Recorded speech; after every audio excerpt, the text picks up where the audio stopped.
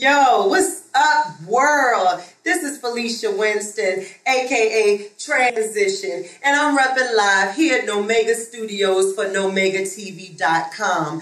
I'm known as the First Lady of Slam Richmond, currently holding it down as Slam Mistress for Slam Richmond. Takes place every Saturday night at Art Space Studios. Come and check us out. Roll through because in August we're going to represent Richmond at the National Poetry Slam. Y'all want to reach us? Hit us up at www.myspace slash slam richmond. If you want to reach me, holla at me at poeticfifi70 at yahoo.com. First piece that I'm about to do is Daddy's Little Girl. This is my signature piece. Could my promiscuity be attributed to that masculine touch that I didn't have when I was growing up? Or could my sexual misconduct be simplified to the fact that I'm just a girl who likes to give it up? Experts say that daughters who grow up in fatherless homes oftentimes wants to fill the void of being left alone by the first man or presence is ever known, and she may grow up with the innocent ignorance that she's just the freak of the week and likes to get boned.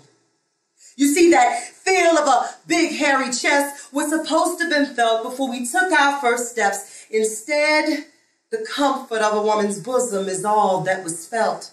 Could this be the reason why when I meet a man, I extend my body instead of my hand? You see, for years this I couldn't understand. Just like every young girl, I thought I had that bomb sweetness between my thighs that could conquer any man.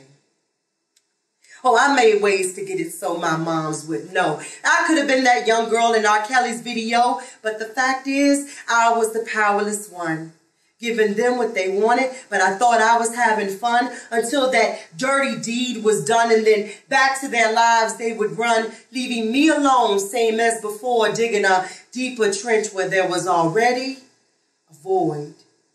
See, over the years, my moms could never do enough. I realized it was out of anger that I made her life so rough. You see, she was paying a debt that she didn't owe for a man whose face I would never know.